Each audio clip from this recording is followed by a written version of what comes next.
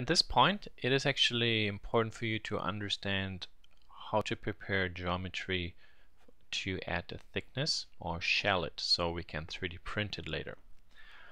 Because this is actually quite useful to know before you go into design so you know some of the limitations and what you have to look out for. I have a very basic design here. You see I joined actually the handle and then I added two fillets and I would like to give this a thickness. Can for example give this a thickness simply via the thickness command because this is right now an open surface. Maybe minus two millimeters material thickness. Click OK. And there now we have a 3D object that can be printed because this has a thickness. If we, for example, split it, you split minus this one, yep.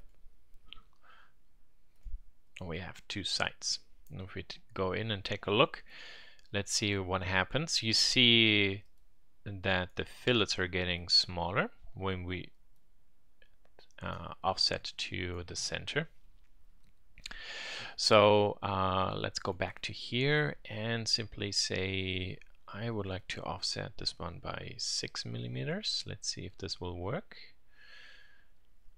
It does, okay. This is actually math-wise a pretty complicated task, so you want your stuff to be as simple as possible. So the easier the geometry, the easier the software has to solve stuff. You see down here, there's like some wobble stuff going on. Uh, that could be problematic, but Fusion didn't complain. And he, you see here the fillet actually is straight, or there's no fillet anymore, it's a sharp edge. So it's gone. But it doesn't matter too much because this is actually the inside. We only will touch something on the outside. So the inside can really be very simplified. So that's one way how you can create the fillet. But there are certain uh, steps you can or should remember. So ah, I forgot to actually create those. So hold on. And okay, this is a question Jason brought up. So what's the proper sequence? So I will trim with this tool this hole.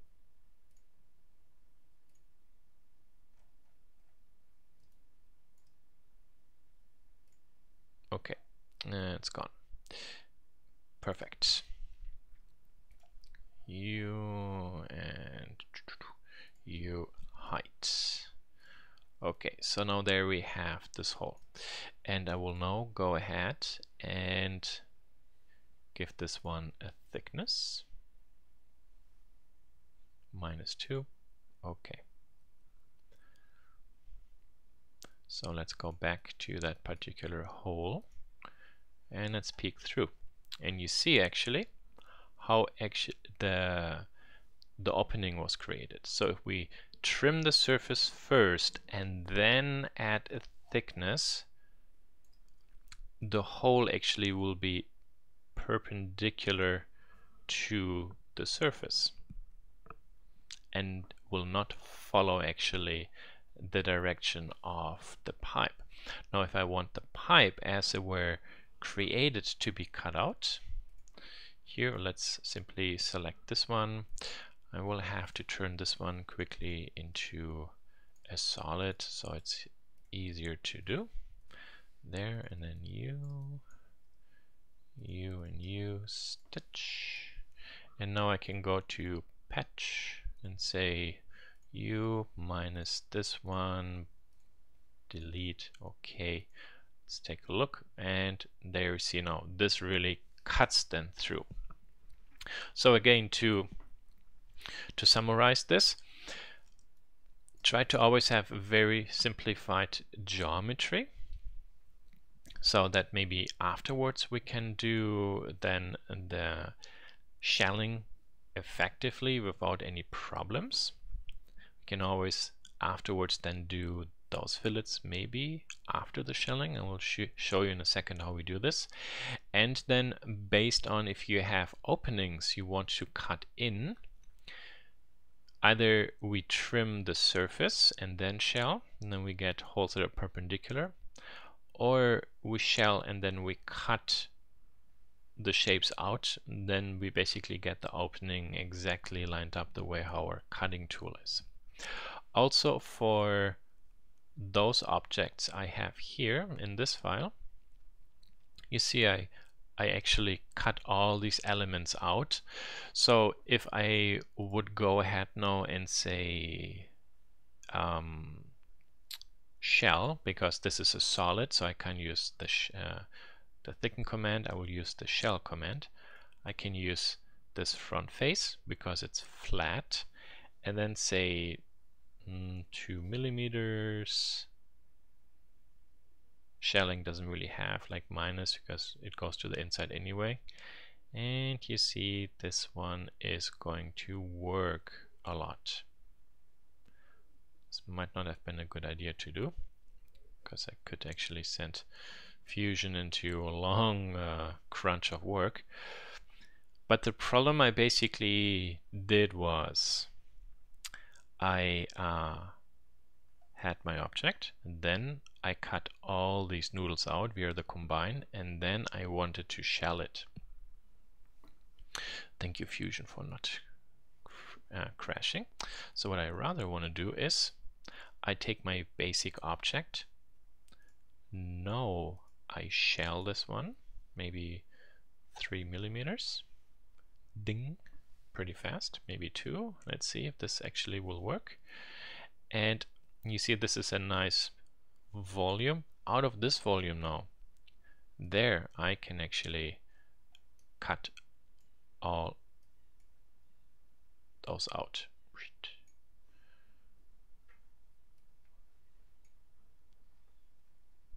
and okay. Give it a second there. Okay perfect. So I hope this makes sense. However what you need to be very careful about is let's turn on the section view uh, here and then move this one in. It's the material thickness. So if we have if we have a small groove that's not much of a problem. But you can see that I removed nearly 50% of the material so there's only one millimeter left if this is going to be half a millimeter or a quarter millimeter, the surface will be fragile.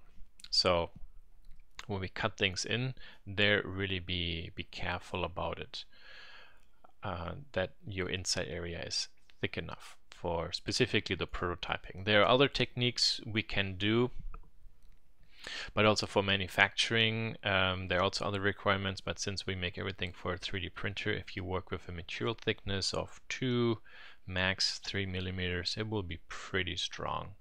And then you have enough space, for example, to cut something in. Okay, so last thing to go back. I wanted to show what we can do with these fillets. Yeah, yeah, it's okay. Also okay. Yeah, blah, blah, blah. There, this is gone. Let's show this one Okay, that's our our element. Perfect. So this one I will isn't this joint? Yes, it is joint. Okay, so thicken. Oh, wrong mode. Again, minus two.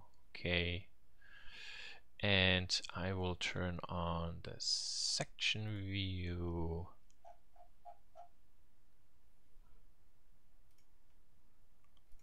okay so now you see we have actually sharp edges in the inside which is fine and now we can actually do our filleting. So I will fillet this outside and we set maybe 10 millimeters. Let's make a big one. or maybe let's go 8 and there you see now that works but man we create a lot of wasteful material there. Okay. So we could also to make the whole process like for shelling a little bit faster you see we simplify it and then we fillet each corner a little bit. Did I use 6 here? Let's see 8 millimeters. Okay good. Yeah.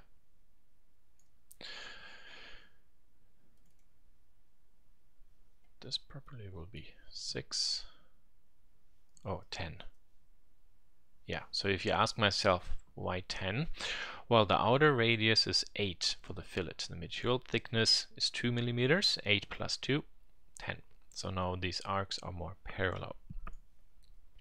We have for example to do the same here to make this actually stronger. So let's say 2 millimeters let's say 4 so it's bigger. Uh, length 2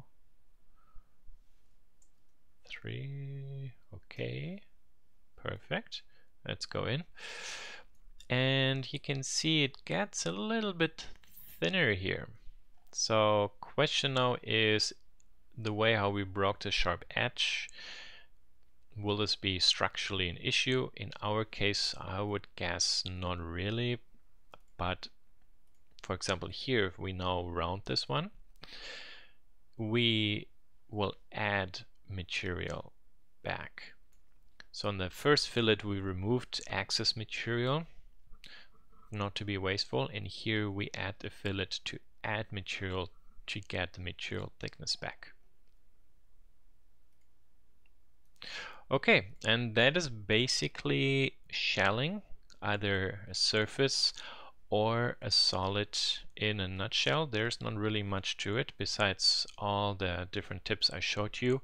And literally the biggest uh, biggest tip is really first save before you do a shelling because shelling can be very time consuming or crash application or freeze it and you think it's crashed so you force quit it because it's just again very very math uh, intensive and try to really give the shelling or thicken command very easy surfaces and then kind of like what I did here with the fillets do then detail work afterwards.